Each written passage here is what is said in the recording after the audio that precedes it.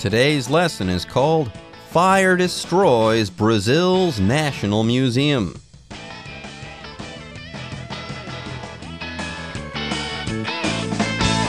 Hello, everyone. My name is Jeff. I am Roger, and we're beginning the year with a tragic story that happened last year. Hopefully, in this year, 2019, we won't hear stories like this one again.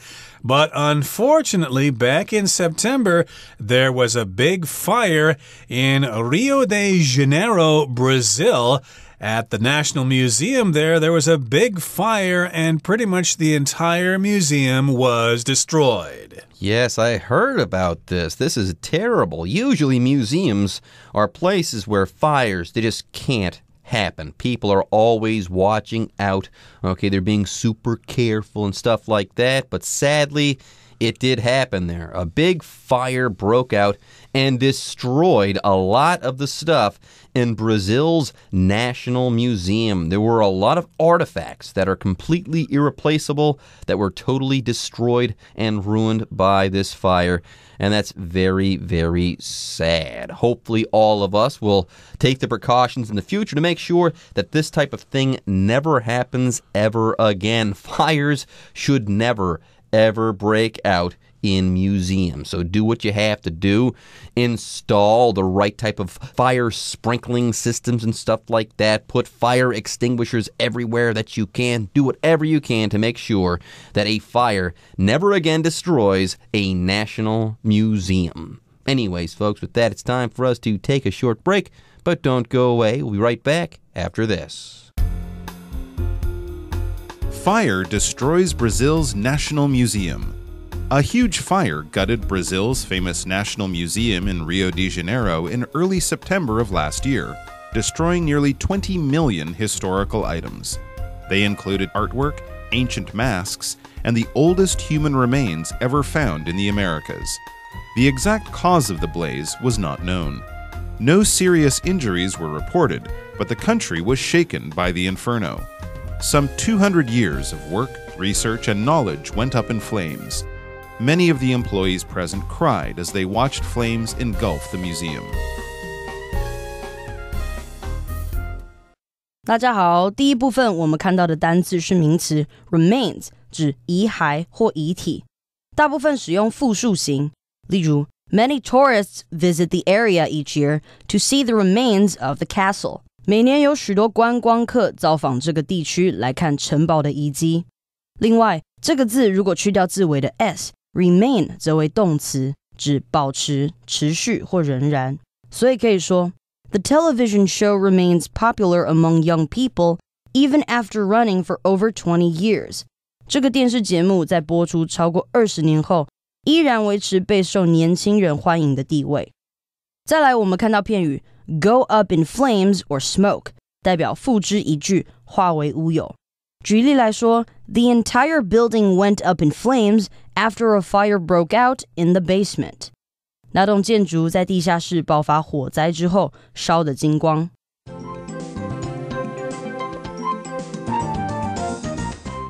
Okay, so we're talking about a fire that destroyed the National Museum in Brazil. They had a successful World Cup a couple of years ago, even though their team got destroyed by Germany in one game. But still, Brazil is a pretty cool nation. They also hosted the Olympics.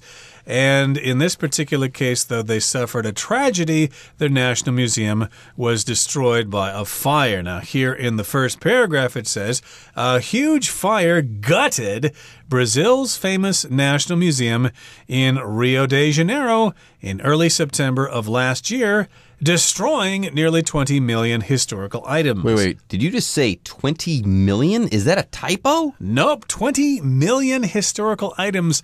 That is indeed a lot. It's a great loss. That's a huge loss. I knew that some things had been destroyed in this fire, maybe dozens of irreplaceable artifacts. I had no idea that 20 million historical items had been totally destroyed. That is unbelievably sad.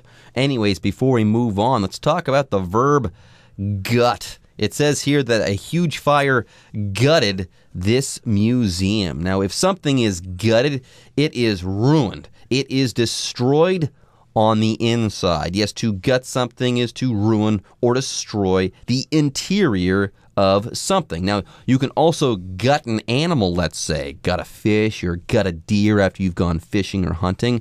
If you gut something, you remove its guts, okay? You take the inside of that animal and you remove it. But that's not what we're talking about here. We're saying that the inside of this museum was totally ruined and destroyed by this fire. This is the verb form to gut, as you said, to destroy something with a fire or to remove the belly or the inside of a fish or something.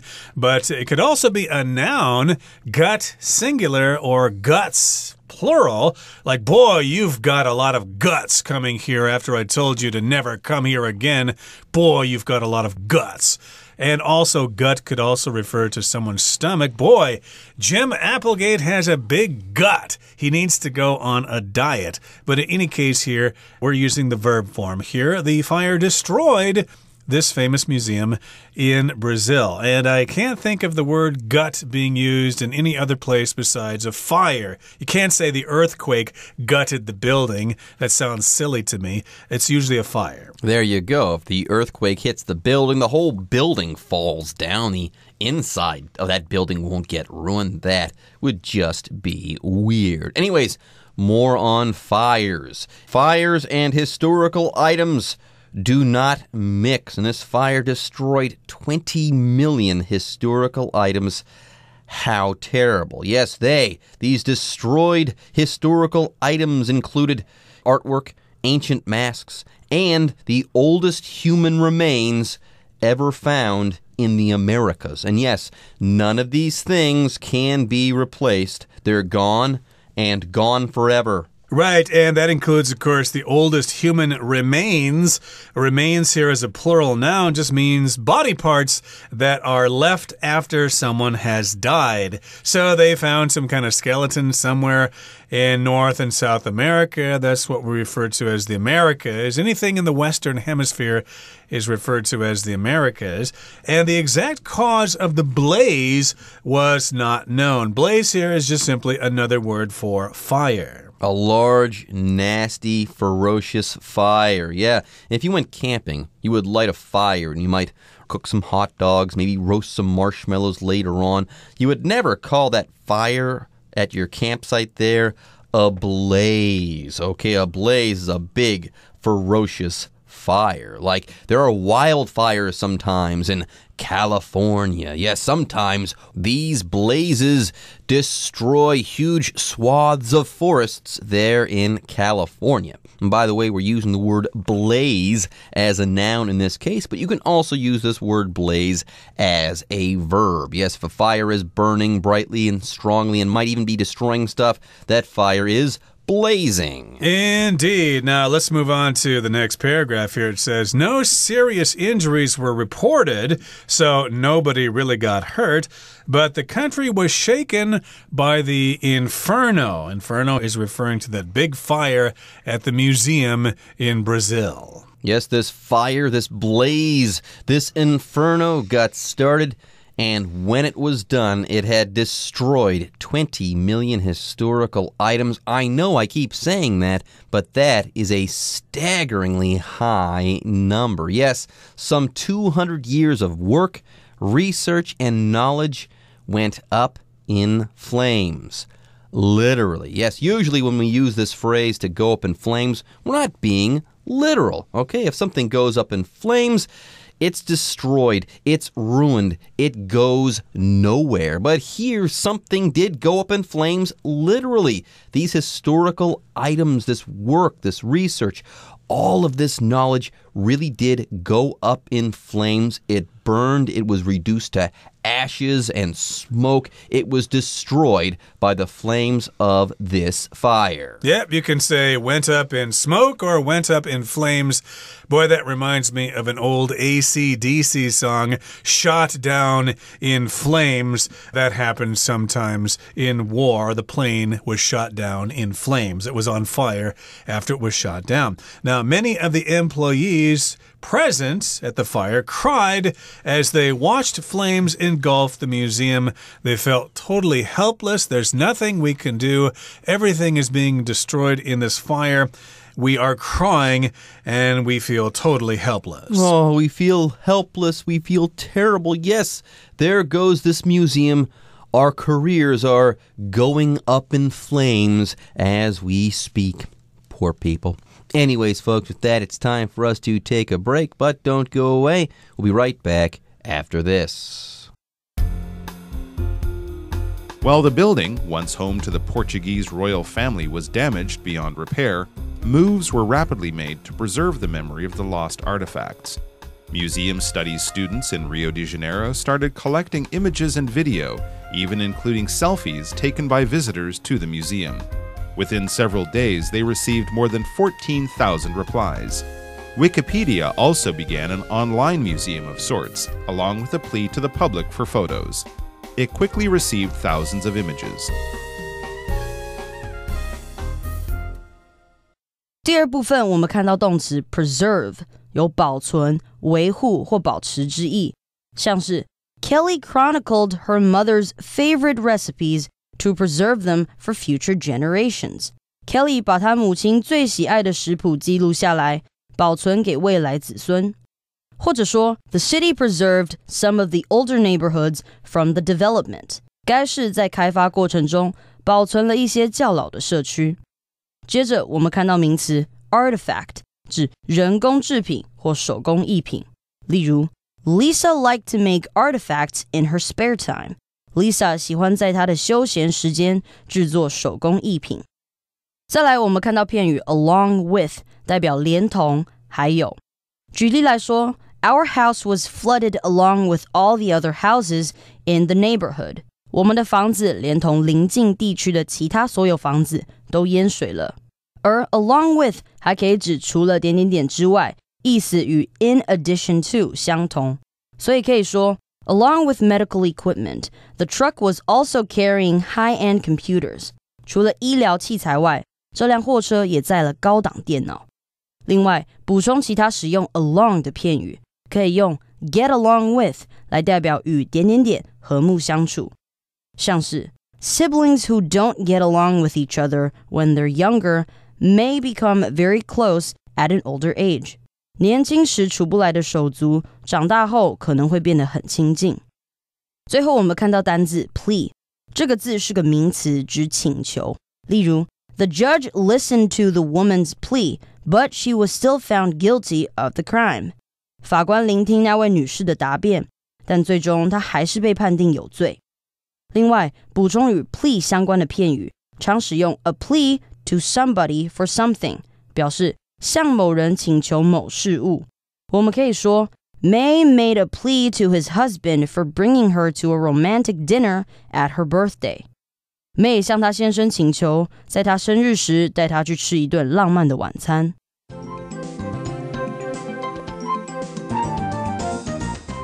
Let's continue with the next part of our lesson. It says While the building, once home to the Portuguese royal family, was damaged beyond repair, moves were rapidly made to preserve the memory of the lost artifacts. So, here, while it is true that the building was once home to the Portuguese royal family, and it is true that the building was damaged beyond repair, they simply cannot fix it. It is gone for good.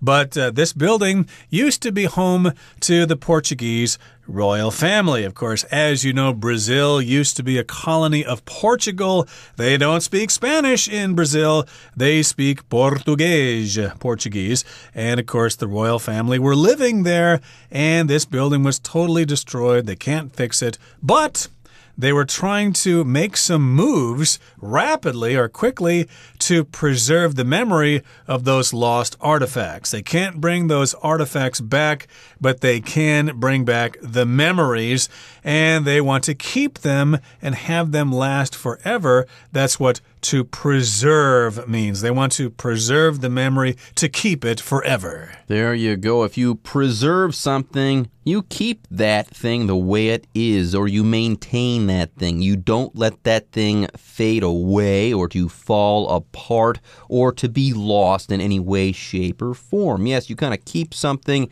in good working order, or you make sure that something stays in some original condition. Now, that does not mean that you can bring the artifacts back. They're definitely lost, but hey, you can keep that memory safe and sound. You can preserve that memory. More on that after this example sentence. You could say something like, We must fight to preserve the Union. So, there during the Civil War in the United States, people in the North would say that we must preserve the Union. We don't want the Union to fall apart. Anyways, it says here that these moves were rapidly made to preserve the memory of these lost artifacts. Get this museum studies students in Rio de Janeiro started collecting images and video even including selfies taken by visitors to the museum. And yes, these images, these videos, they'll contain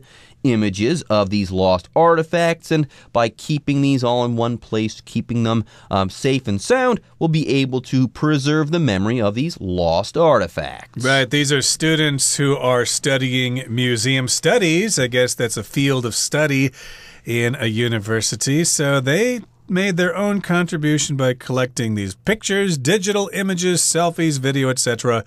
And they're going to keep it in one place, maybe spread it out into different hard drives so those memories don't get destroyed.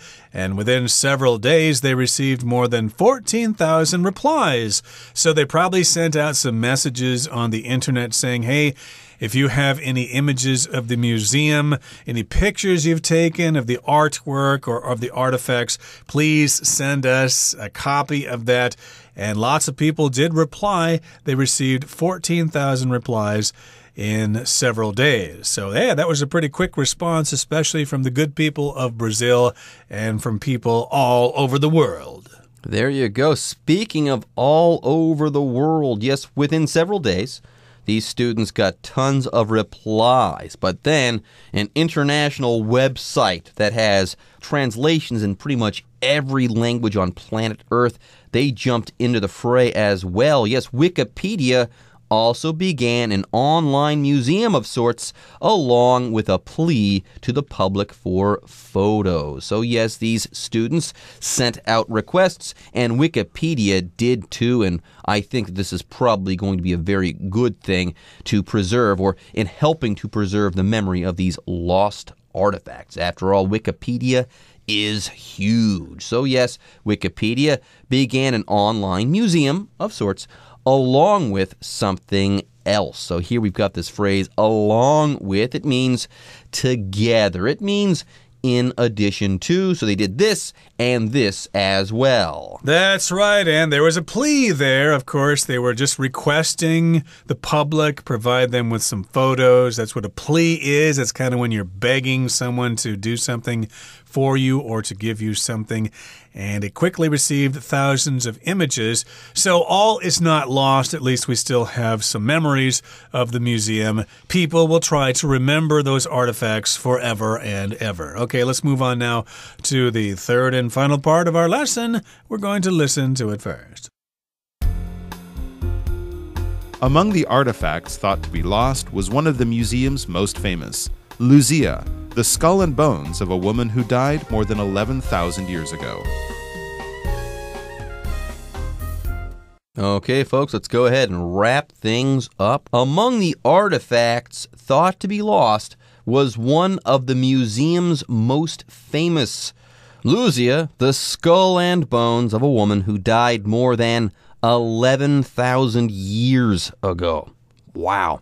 Anyways, before we move on and wrap things up, let's talk about the final vocabulary word of the day the word skull. Okay?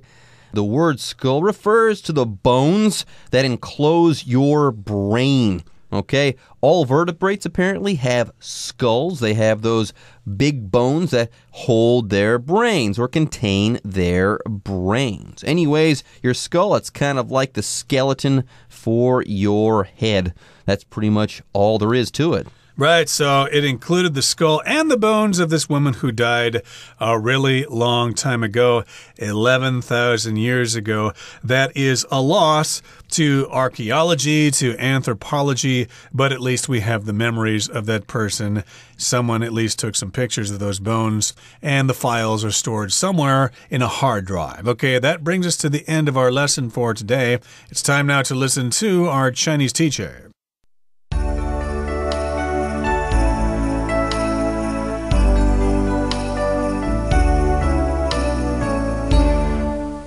各位同学，大家好，我是 Hanny。去年九月啊，巴西里约热内卢这个国家博物馆发生严重火灾，将近两千万件的珍贵历史文物都被摧毁了。那不只是巴西人，世界各地的人都感到非常惋惜。我们读到课文的最后一句：Among the artifacts thought to be lost was one of the museum's most famous. Lucia, the skull and bones of a woman who died more than 11,000 years ago. 在被认为已经失去的文物当中，有这间博物馆最著名的露西亚，那是一名死亡超过一万一千年的女人的头骨以及骨头。好，那这个句子呢，它其实是把主词补语移到句首的倒装。当我们句子里面的主词比较长，或者是带有比较长的修饰语的时候，你可以把主词补语移到句首，然后再把 be 动词移到主词的前面，形成倒装。也就是说，原本的句型应该是主词 be 动词，然后主词补语。那倒装之后，句型就变成主词补语加上 be 动词，再加主词。像课文句子里面的 "Among the artifacts thought to be lost" 是主词补语，然后后面它接的 be 动词 was。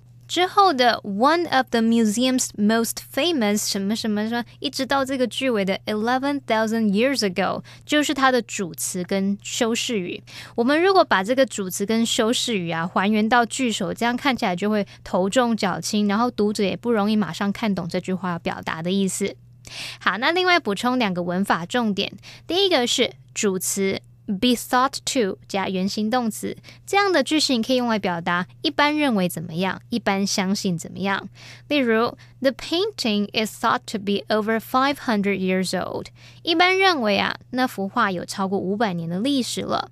那我们课文里面的 the artifacts thought to be lost 表示。被认为已经失去的文物，这个 thought 前方就是省略了 which are the artifacts which are thought to be lost。好，那像这样的句型，我们可以也可以用虚主词 it 改写，那它的句型就会是 it is thought 再加上 that 子句。像我们刚刚造的例句就可以说 it is thought that the painting is over five hundred years old。好，接着看第二个文法重点是课文里面的 Lucia 后面的 the skull and bones of a woman who died more than eleven thousand years ago，这是同位语，是用来说明 Lucia 是一名死亡超过一万一千年的女人，头骨跟骨头。那我们的同位语呢，通常都会摆在名词或是名词片语的后面来做补充说明。那在句子里面要记得用逗号把这同位语跟句子隔开。例如，Mr. Kent。The owner of the store is a friend of ours。这间店的老板 Mr. Kent 是我们的一个朋友。那这个例句里面的 the owner of the store 就是同位语，它的前后都要用逗号跟句子隔开。那这是用来对它前方的名词 Mr. Kent 来做补充说明。好，那么以上是今天重点整理，我们来回顾今天单词吧。Gut Though fire completely gutted the building 20 years ago, it has been restored and is now grander than ever. Blaze. Firefighters were able to get everyone out of the building before they could get trapped by the blaze. Preserve. The agreement preserved the peace between the two countries for many years after it was signed. Plea. The organization made a plea to the public for supplies. Skull. Babies are born with soft spots on their skulls that usually harden by the time they reach 18 months old.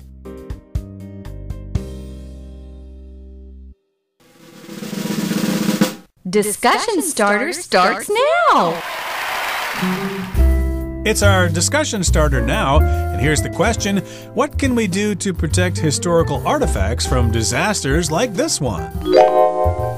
Well, we can take steps to make sure that a fire never again breaks out at a museum. Okay, and I mentioned some of these things that we could do during the introduction to our program. We can do things such as installing advanced sprinkler systems in museums. So the moment a fire breaks out, it is nipped in the bud. Those sprinkler systems take that fire out so it can't spread and ruin stuff.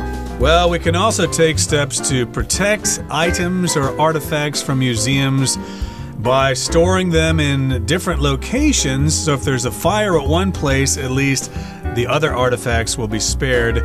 Don't store them all in one place. Don't put all your eggs in one basket. Okay, everyone. With that, today's article is now complete. But as always, we sure hope that you guys have enjoyed reading along with us. Anyways, I'm Jeff. I am Roger. See you next time.